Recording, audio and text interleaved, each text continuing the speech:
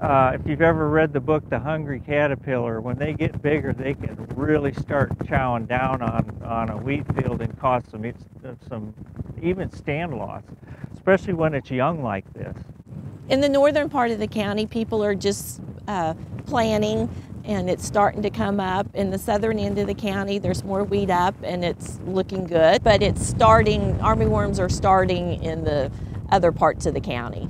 When the armyworms hit, you know, it's, it's cover the acres as fast as you can because, you know, in a, in a two-day period of time, your, your field can go backwards or even and be demolished in, in, by these little, you know, worms. And it seems like in the last four years, every, everybody that goes out and plants early seems to have to spray. But I feel like it's those moths really focus on those first fields and they really lay their eggs heavy in those fields and then you have infestations. And then as it progresses, you know, there's more fields, the moths spread out and you have less of a problem. But the guys that plant the, the earliest, and, and around here, we're 90% grazed, you know, so everybody's chasing that early pasture, planting early.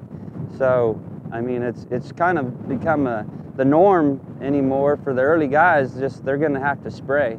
I, have had more. If I've had more calls from farmers say, "Yeah, I saw the worms out there. They were really little. I didn't think much of them." And then I came back a few days later, and it was like they're big and they're chewing down the crops. So it doesn't take long, especially when we have warm weather, for them to grow and, and uh, uh, be able to start consuming more of their food. You know, there's some fields that get treated and others don't, and so it's even more critical, I think, for uh, anybody, any grower to, to check their field and, and kind of regularly see what's going on because, you know, from one field to the next, you may have a, a serious problem, in other fields you may not. This year, the, the weather's warmer, the more the, the worms are, are hatching in a longer period of time, they're not moving on, and next thing you know, it's a widespread problem. Well, that's one reason why we use airplanes, you know, and we contract through them because they can cover acres way faster than a ground rig can. One of the things I always like to stress with, it, with an army worm, they will, on the last larva stage, their last molt before they turn into a pupae, they will eat 70 to 75% of all the green material they'll ever eat in their whole life as a caterpillar. So they can eat a lot in just a few days. And they can cycle through their whole life cycle in 20 days as a caterpillar. And um, you know, as it cools off, they're going to be slower growing, but they're still going to be out there eating the same amount of material. They can literally take the plants out so that they don't have anything.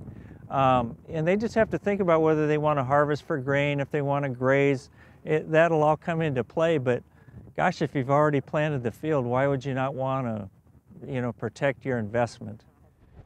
And by the sounds of it, Amanda, producers really should be looking for for armyworms right now. When when is it too late to to replant from armyworm damage?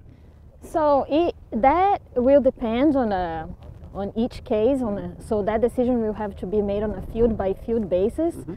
So it depends on if a producer is aiming for a grain only system right. or forage. Um, so that will depend on the region and a lot of things. I know uh, last year uh, people got good yield, even planting very late or later than expected. And overall, how does the wheat crop look across the state right now? It's looking pretty good. So we are about halfway done with planting the variety trial. So we have been finding very good soil moisture and we've, we've seen farmers uh, planting now and also a lot of wheat that is already emerging and the fields are looking good. But that's also uh, draws our attention for the fall armyworms. So, so farmers need to be out there and start to scout. Scout. Mm -hmm. Um, but yeah, it's it's looking good. So and it's important for producers, if they do have questions, to, to go ahead and get to their county office and, yes. and talk with the educators. Yes, we have several sources of uh, that they can use for mm-hmm. help. For sure, contact their uh, extension office.